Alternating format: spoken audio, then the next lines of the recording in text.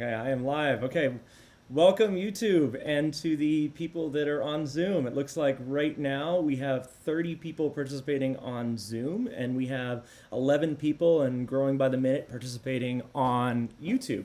So for the people that are on Zoom, uh, you can send me a chat message and you can put that right into the Zoom group chat. I'll be able to see that coming in. Uh, for people watching live on YouTube, if you look at the link that I put in the description, you can actually uh, send me a message via PollEv, and you can do that live. So you have two ways to actually reach out to me live. Uh, I'll go through the lesson. You know, it'll probably take about 15 minutes to kind of go through the lesson, and then just like I've been doing in the past, I'll start taking some questions from the broader group. So question from today came from two Emma K's. So both of my Emma K's asked a similar question that was about storms, and I kind of combined it into two, like the two questions into into one little presentation. So I had the two. The original questions were, what was the biggest storm I've ever personally been in? Um, and then the second question was, um, has there ever been a Category Five hurricane in the U.S.? So I took those and I decided to make a, a top five video. So the top five video that I came up with were the five most powerful storms in American history. So this is a question that's really difficult to answer because there's so many ways that you could possibly describe a storm and what's the most powerful. And so I picked five different categories uh, for ways to describe it. For people that are on Zoom, um, if you haven't already, take a look at the group chat and you can see the thing that I put to everyone. So if you want to follow along with the slides, you can. You can click on things in real time. Um, if you just want to be surprised and have me describe it to you, you don't have to click on those slides. You can check them out after, but I think it's pretty cool to, uh, to follow along with the slides. All right, so let's dive right in.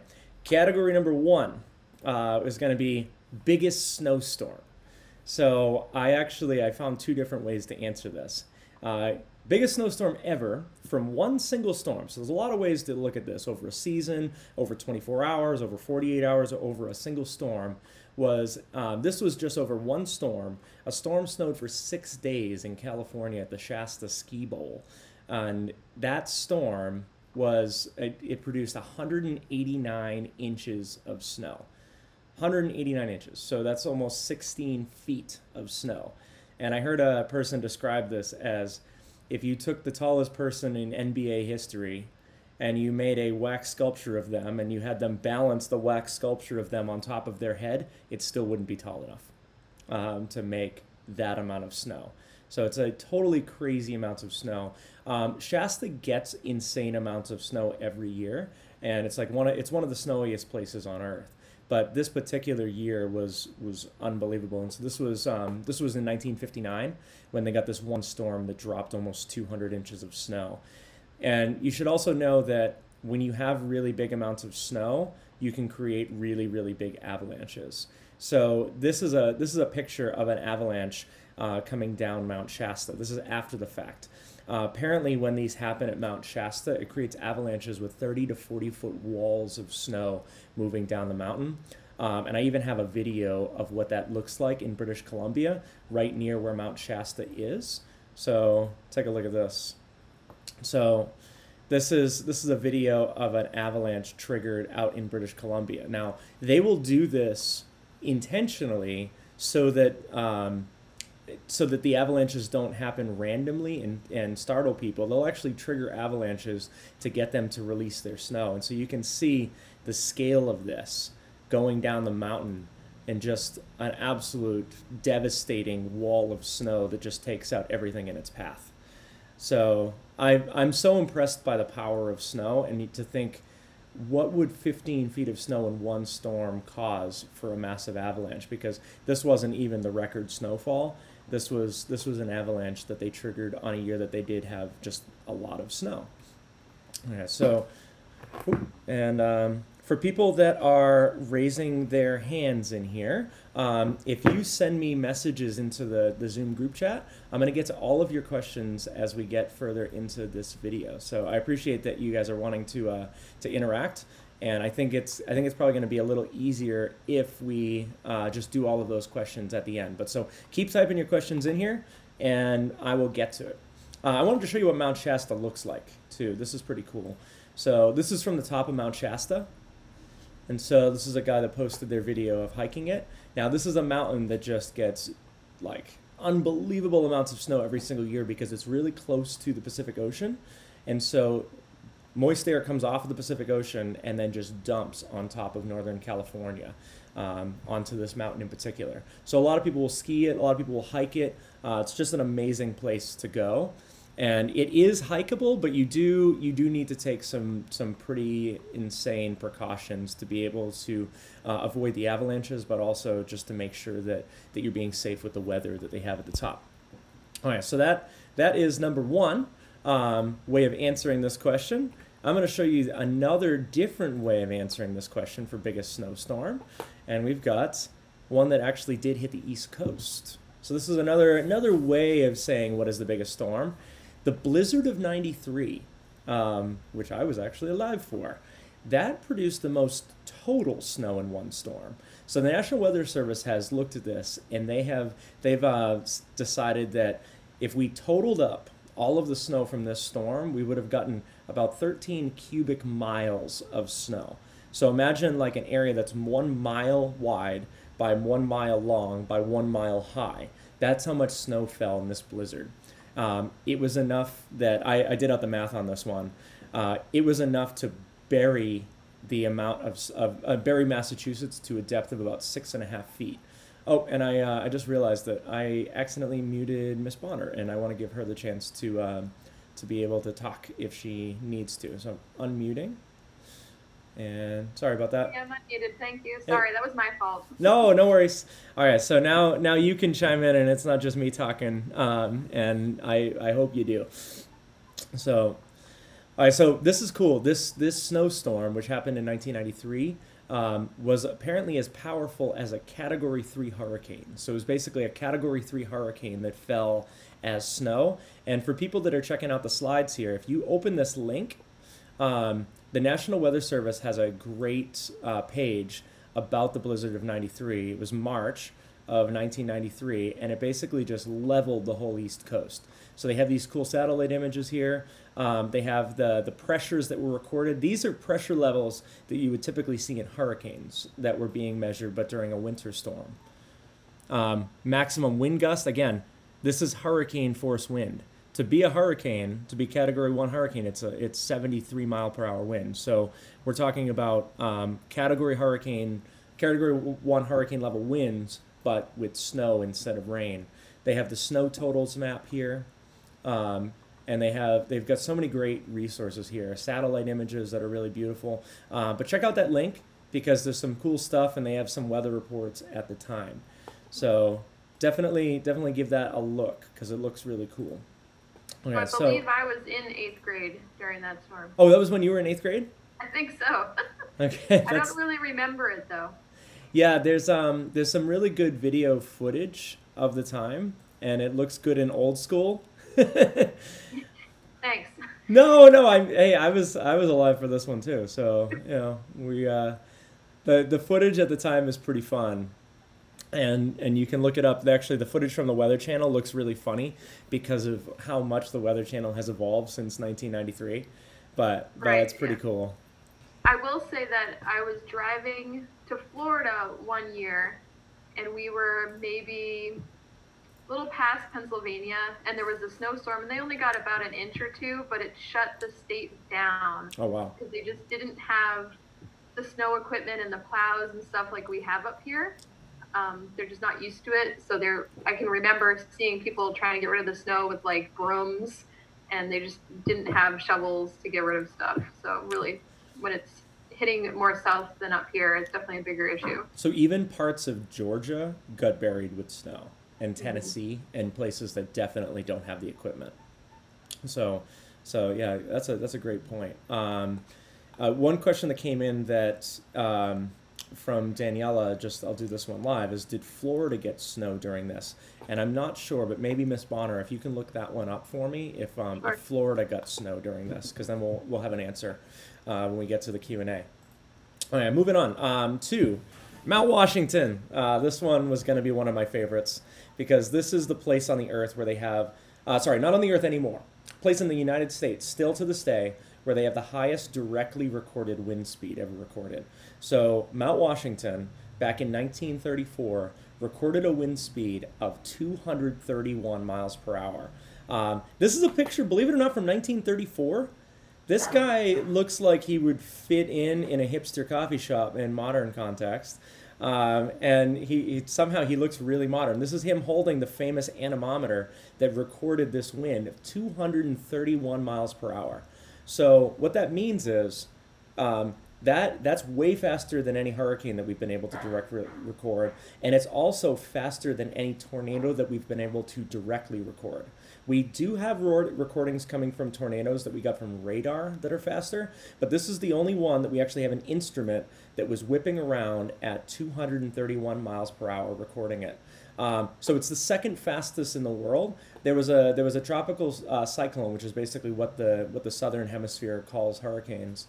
Um, they often call them typhoons as well in the Pacific. But this this cyclone in Australia hit 254 miles per hour and so that beat New Hampshire's record. But still, in the in it's the hemisphere record, it's the American record, um, and we and basically we own it. It's New Hampshire.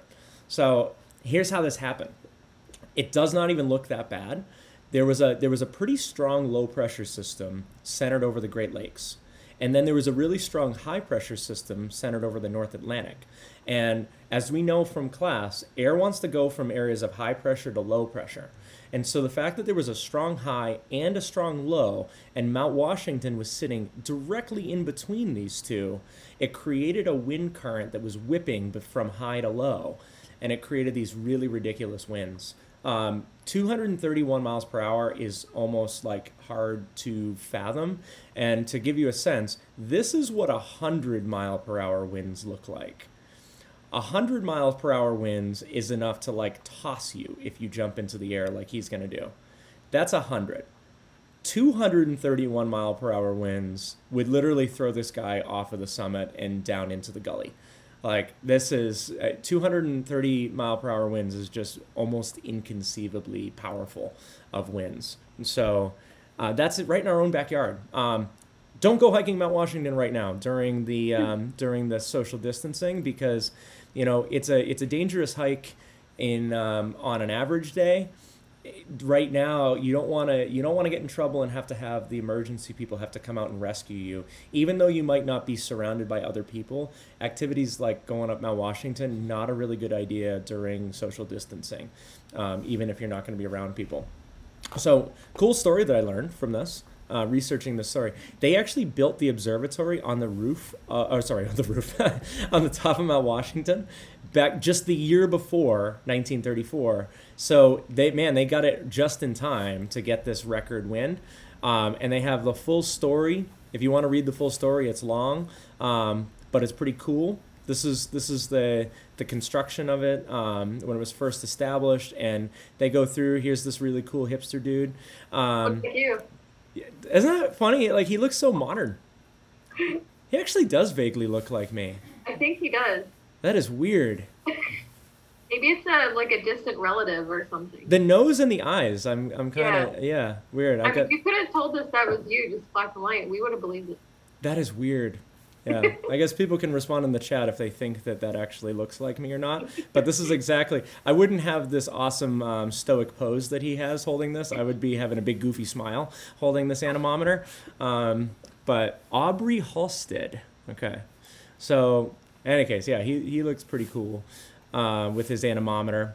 They have to crank the cables to actually hold that. An anemometer is just um, just holds uh, it, it, anemometers measure wind speed, but to measure 230 mile an hour winds, you're going to have to have some really strong cables to hold that in place so it so it doesn't blow off.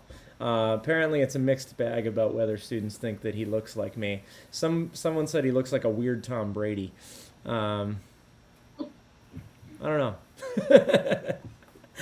All right, so move, moving on to uh, to the next piece.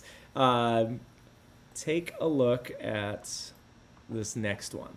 Um, next category of powerful storms is going to be, oh, that's great. Not going to load. Let's see if I can uh, reload it here. Part of the storm, and uh, part of this didn't want to load. Huh, okay. I'm going to have to hit refresh and hope for the best. Good thing um, I'm not maxing out my computer with like 8 million apps running. And uh, I actually did close out my tabs, believe it or not, before doing this. That's amazing. There's Yeah. not 100 tabs open. There are not. I tried to close out all the ones that I didn't need. Come on, load. You can do it. There we go. Okay. Most total rainfall. Okay, so the winner for that, another um, uh, very recent storm, Hurricane Harvey, 2017. Uh, Mrs. Bonner and I were talking about this last night, and this is like mind-boggling amount of rain. 60 inches of rain. That's uh, it's just crazy. So, if you think about that, that means that that whole area was covered to a depth of five feet if it was flat ground. The whole area. If it can flow downhill at all, it's just going to pile up and be deeper and deeper and deeper and deeper. Like, so crazy. So, if you are following along on the slides, check out this link. National Weather Service has a cool page on Harvey. Um, and I do want to say this.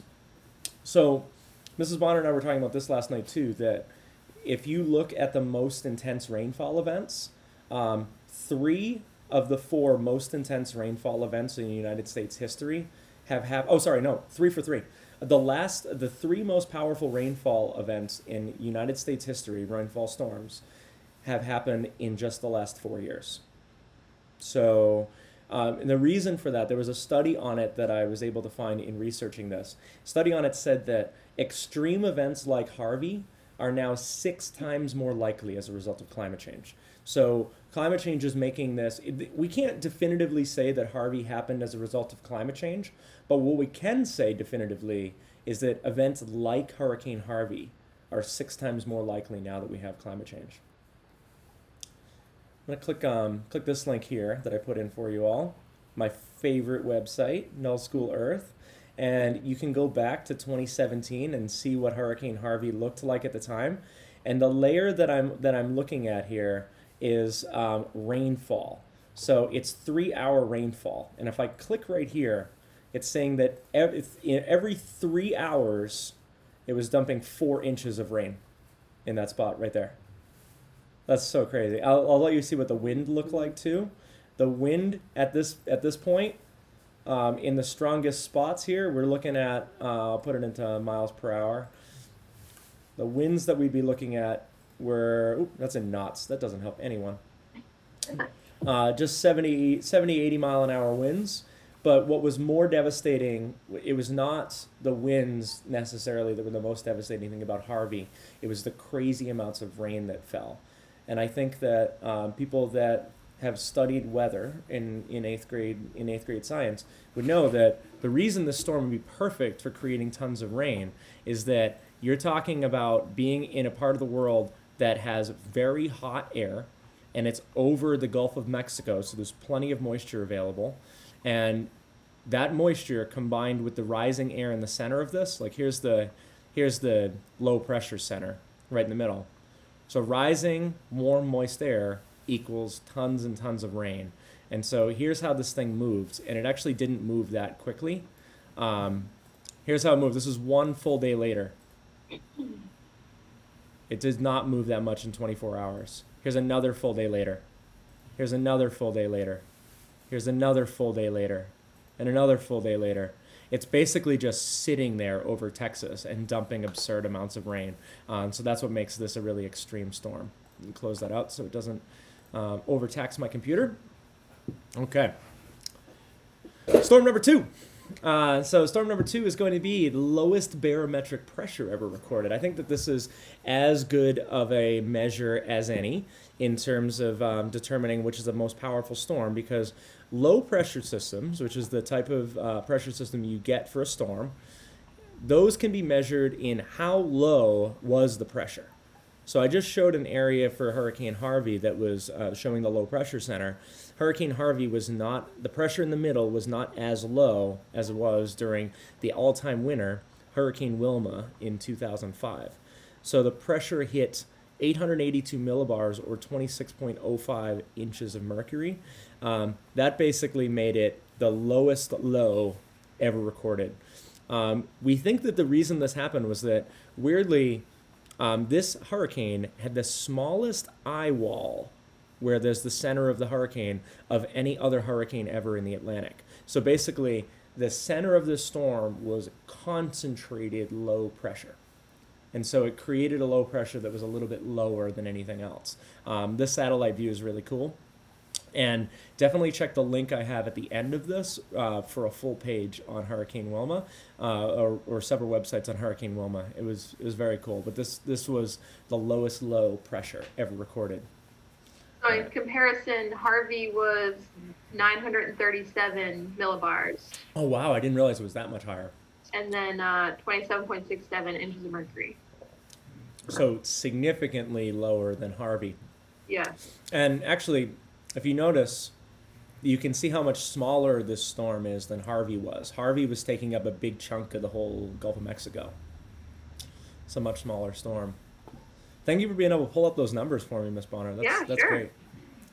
Okay, onward to um, tornadoes. I saved this one for last because tornadoes are um, are really cool. Um, I've got I'm seeing some questions coming into the chat. I'm gonna get those in um, in when we get into the uh, the Q and A at the end, and those are some really good questions. So thank you for people that are adding questions. Also, I don't know if you can all see it, but we got 38 people on Zoom right now. That's really cool. Um, and then 17 live viewers right now on YouTube as well. So we got a we got a pretty good turnout for this. Oh, up to 18. It's going up. Um, all right. So the largest tornado. This happened very recently as well. 2013. So it's amazing how many of these storms happened so recently. This storm happened in El Reno, Oklahoma, and it was a width maximum width for the for the tornado of 2.6 miles wide, which sounds big, but then when I show you this Google map, you're going to see how big this actually is. Um, now, the thing about Oklahoma is they have a lot of empty space. They have a lot of land that is not uh, heavily populated, so the storms don't look quite as big when they're there. Um, I'm going to show you this, and you're going to be like, "Oh my, that is that is a really huge tornado." Estimated wind speed. Look at keyword estimated. Um, 295 miles per hour. I saw another source that said 305. Um, so it's around 300 miles per hour. Now, that would make it faster than the wind on Mount Washington, if you remember. The problem is, this is estimated. They don't have any direct recordings from an anemometer. They got this from Doppler radar. So, this is why Mount Washington still owns the record, despite the fact that tornadoes likely have more powerful winds than Mount Washington does. The way that they get this estimation is from uh, one, radar, but two, they actually look at the damage as a way of actually estimating. And so when I when I say the damage, this uh, this website from the National Weather Service, they have some pictures of what this damage looked like. I think this website does, and it basically just took houses, they're even like brick houses, and just brought like this was a brick house. It it basically brought it to the ground and took off every single brick on the house. So this is this is what 300 mile an hour winds can do. Um, it just basically takes out 100% of everything in its path. Look at this car squashed. Um, so that was probably that probably happened either due to a downdraft or due to the car just being tossed up in the air so high that it came down. Isn't that crazy, Miss Bonner? Like seeing the like all the bricks. Yeah. It's completely insane and Yeah. scary. It is scary. So let's show let's show them the um, this map that I made. So By the way, this hill is the 18th person on YouTube. so I made this map because I wanted to show you what um, 2.6 miles wide looks like. So I'll start off in Lunenburg. This circle has a diameter of 2.6 miles. So imagine this whole area as a tornado with 300 mile per hour winds. And let's see if I can click and drag it. It's, uh, it's not wanting to play along. Okay. So imagine it just moves across Fitchburg here takes out the Walmart and then moves across the whole city of Fitchburg. It, imagine the path of destruction that this would leave. And for the people tuning in from Chelmsford, I put another little um, circle over here by Chelmsford, and you can see this this whole area.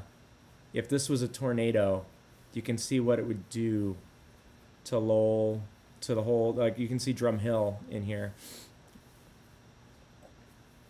So here's here's little baby Drum Hill Plaza The other Walmart. and the Walmart and the high school and every other neighborhood all 100% all at once.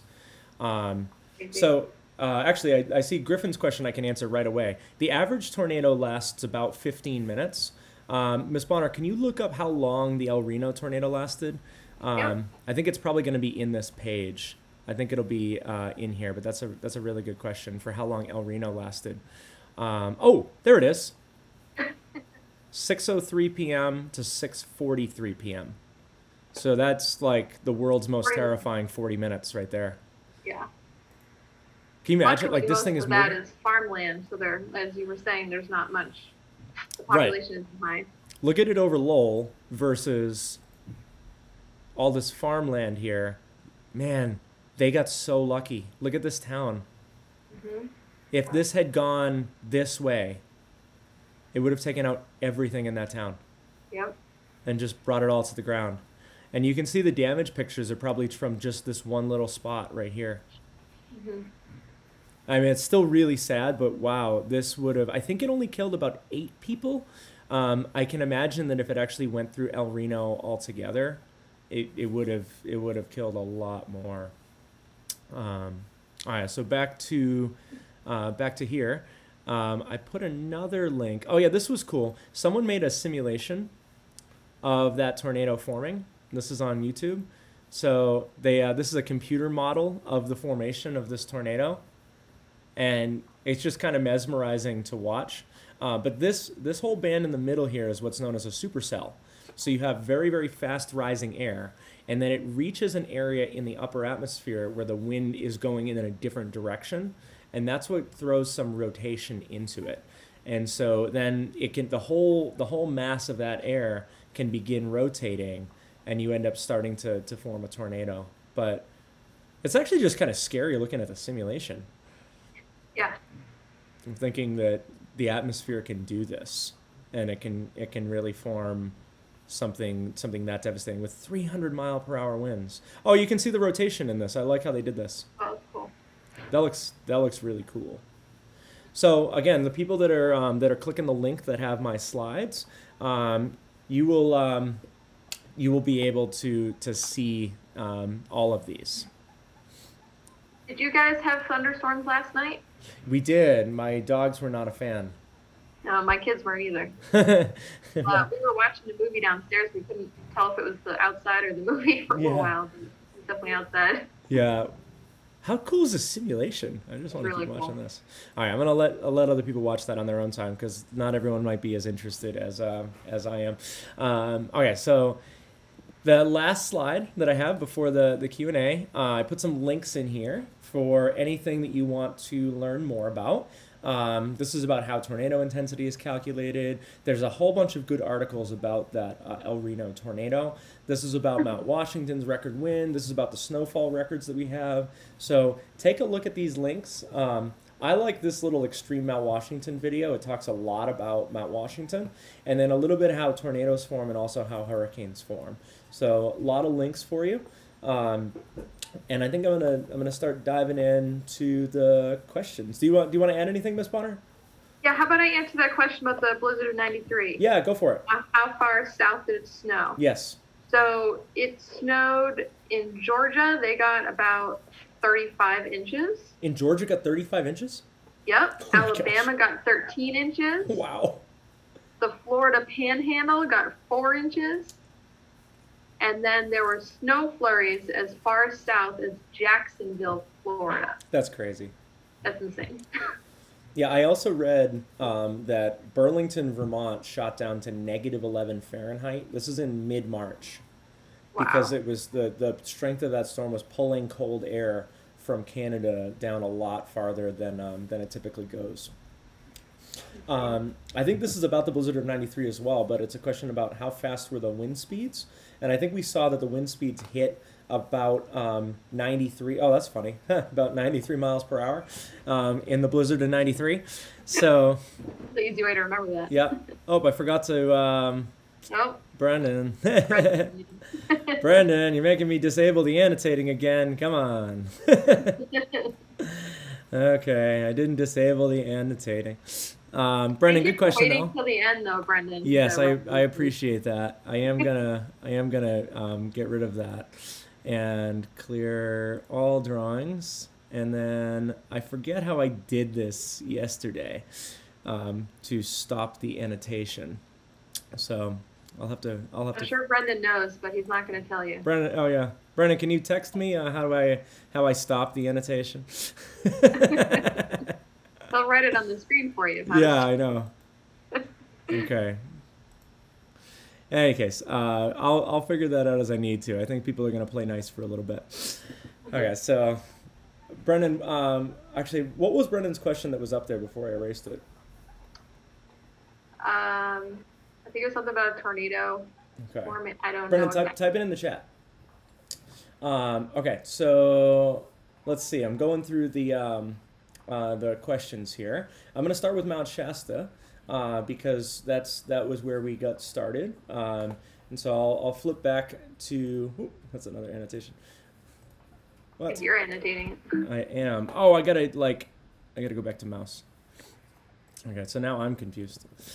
All right, so Mount Shasta. Uh, okay, so then, have there ever been surprise avalanches? Yes, all the time, and it kills people, and that's why they they want to do them not surprise. They want to actually trigger them. But yeah, they get surprise avalanches all the time.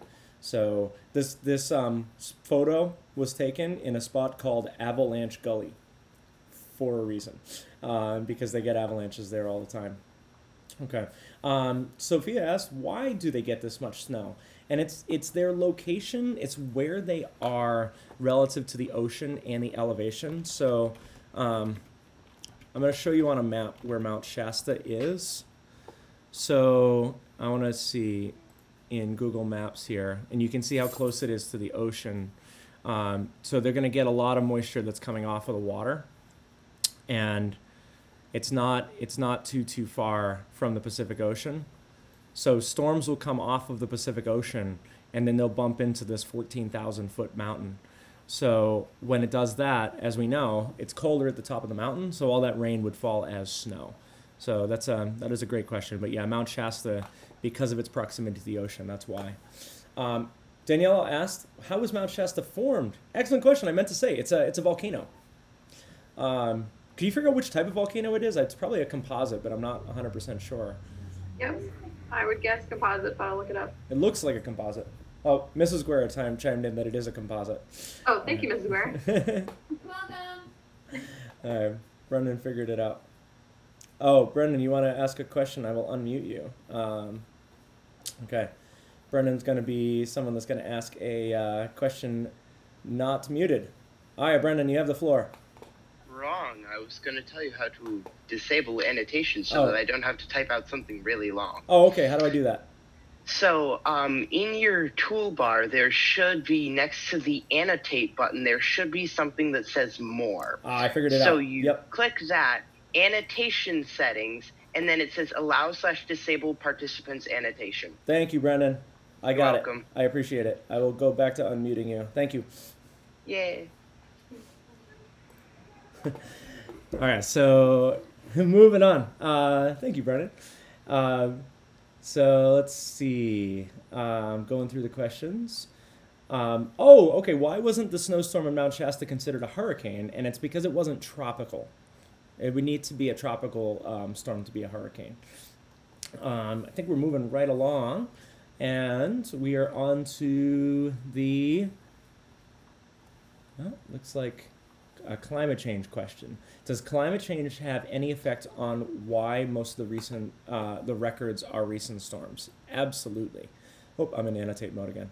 Um, absolutely, it has a huge effect. So one of the major impacts of climate change is they make these powerful storms more likely, and the reason for that is actually pretty simple. So basically, if you make the atmosphere warmer, you're putting energy into the atmosphere. Energy equals storm.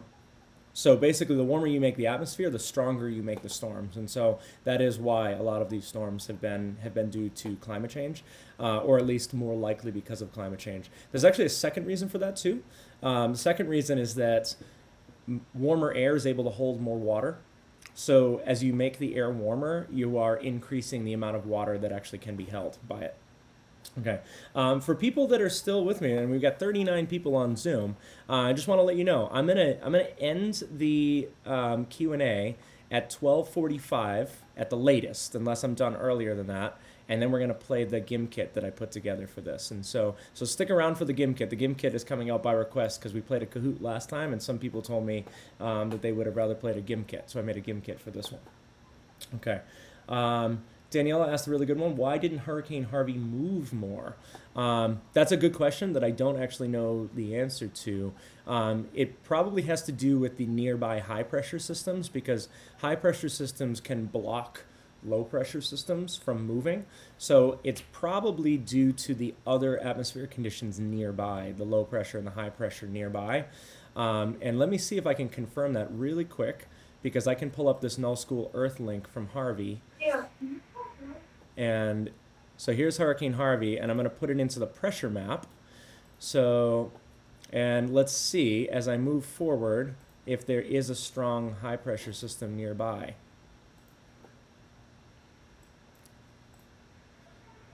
Not as strong as I would have guessed. It looks like there is a strong high pressure system here, and there's another low pressure system here. So um, my guess is maybe my second guess would be a weak jet stream, which we can see by looking up at the upper level moisture in the atmosphere, or, or sorry, the upper level winds.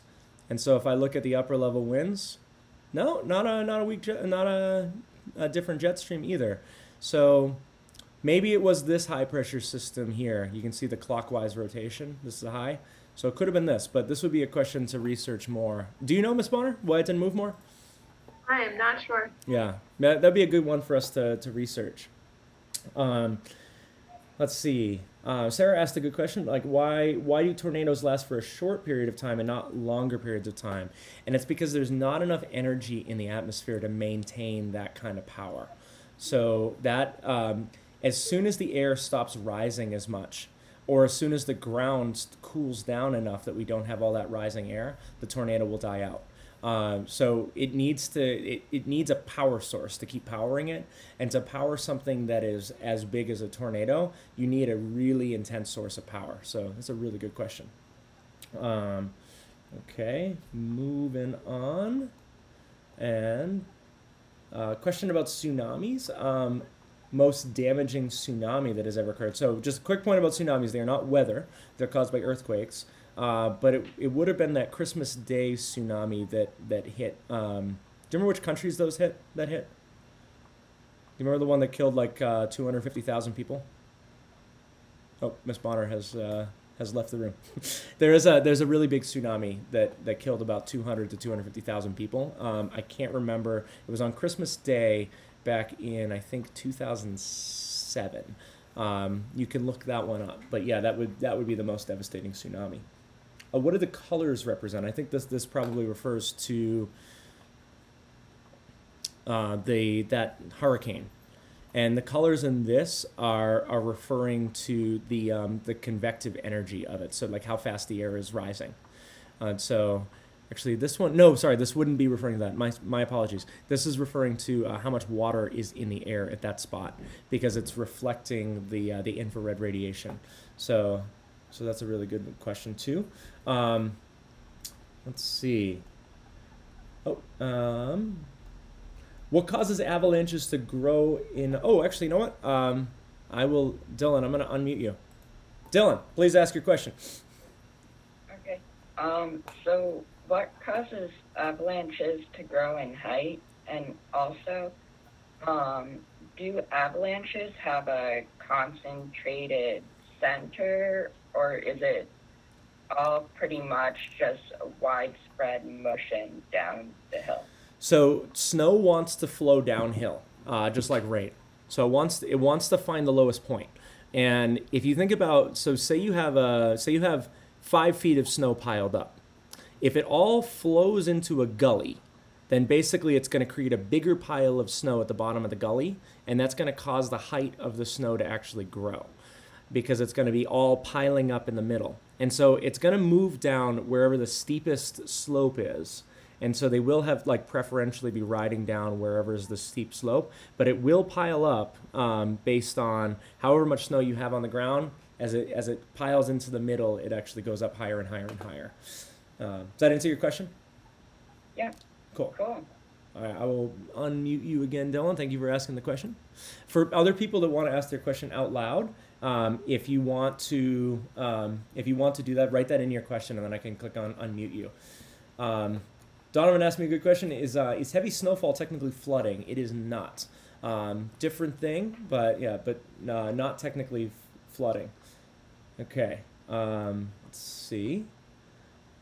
Can you freeze a tornado? No, because they need heat. They need heat to form. Okay, I'm going down to the going down to the bottom. Okay, um, I'm gonna unmute um, Brendan for a question. Brendan, go. Hi. So, um, you uh, you showed a um, simulation of uh, something that I immediately forgot what it was. So, um, in that simulation, it showed the rotation of whatever it was. What did the colors of that represent? Are you talking about the one That's that's the on my question screen that I right asked now? in my annotation that you deleted. Oh, I know what you're talking about. It was the Great. it was the tornado simulation. Yep. Yeah. So What did the colors in that rotation represent? Uh, let's see. That right there. So I think what they're representing here are different areas of rising air, so that it's not just in it's not rising in one spot. Now we'd I'd have to go into the detail of of the simulation, but because you can see that it's showing different areas coming together. So basically, it's currents of air that are two that are different currents of air mixing. So remember, to get a tornado forming, you need to have air starts rising and then gets pushed along by a different by a different section of air. So Hmm. so that's what that's what So showing. all of those different colors are just different sections of air. yeah, exactly. There it moves as one unit, but you have different. You know, so here we go. Streamwise vorticity current. So there are different currents of air that are coming together in one central spot. Mm. Okay. Okay. Um, Thank you. yeah, no problem. Uh, let's see if I can uh, mute. That tsunami was in 2004. Oh, okay. Now I know why you weren't responding. Somehow you got muted. I muted myself and then I couldn't unmute myself. oh, okay. Because my kids are being loud. Okay. Uh, so we've got uh, a question coming in from Griffin. Um, why do tornadoes have hail in them? Um, do you want to answer that one?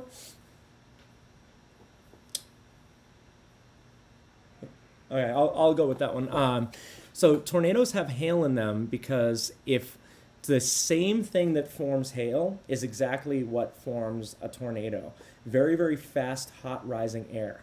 So as it pulls the, the moisture up to higher and higher and higher heights, like we're talking 30, 40,000 feet up, um, it freezes the raindrops even when it's 90 degrees down at the bottom. So it takes a strong updraft to create hail, and it also takes a strong updraft, meaning fast rising air, to create a tornado. So it's the it's the same process, and that's why you get the two of them together. So if you watch um, tornado videos on YouTube, which are often terrifying, you'll usually see hail going along with those. Okay, so I'm I'm looking through some other questions. Oh, I think it's actually um, it is 45. I'm gonna do I'll do one more question, um, and um, Emmett, I'm gonna have you uh, ask a, a real quick question for us, and you get the you get the last question today. I'm gonna unmute you. So, how come? So, if a tornado happens, what does what decides movement? Is it like a tornado moves? Is it like what makes the movement happen? And is there any way to predict the movement of a tornado? That's a great question. It, they've been trying to predict better the movement of them, um, and as of now, we are really not good at predicting the movement of tornadoes. But do we know why it happens? why they move a particular way. Um, Yeah. It's something that it's like we can explain it in hindsight. So so afterwards we can look at the subtle things that would have pushed it along. So little little breezes. So you see where my cursor is. Imagine Mhm. there was a south wind here, like the wind coming from the south. It would kind of push the direction of the tornado that way. But then there might be a small air current, maybe a breeze from the north over here, and it pushes the whole tornado this way. The problem is because they're only most tornadoes are only about 500 to 1,000 feet wide, so it only takes a little breeze to be able to push it on its way, and that makes it really difficult to be able to predict where they're going to go because it could just take a So, little do larger breeze. tornadoes move less? They will move less. Yep, they'll move in a more consistent path. If you look at the whole path of this El Reno tornado, you can see how it moved around more until it's until it became big, and then it basically moved in kind of a straight line from the time that it got big. So the bigger the tornado is, the harder it is going to be to move it. Um, now the problem is, the bigger the tornado is, yes, we can predict its movement a little better, but it's going to do more damage. So unfortunately, we don't have the technology to predict how they move in real time. Mr. Guerra, my brother says hi. Oh, hi, Wes. All right, so uh, I think what we'll do, it's uh, 47 past, and um, if you have other questions that I didn't get to, uh, my apologies. If they're if they're gonna gnaw away at you, um, then please email me, and I will email you back uh, with uh, with some answers to those. And I'm going to I'm gonna mute everyone temporarily. Um, thank you all for participating in this. Once I once I end the YouTube stream, what I'm going to do is I'm going to unmute everyone that's still on Zoom, and I'm going to try to leave you all unmuted during the uh, the Gimkit game as well, just because I think it would be more fun for you guys to be able to see each other and talk to each other during the Gimkit game, and it's just for fun anyway. So so I might as well leave you unmuted. Um, if you're being a pain, I will mute you. Okay, so let's. Uh, I'm gonna end the YouTube stream. Thank you all for watching on YouTube. I hope you enjoyed this, um, and we will uh, pick this up more on Zoom.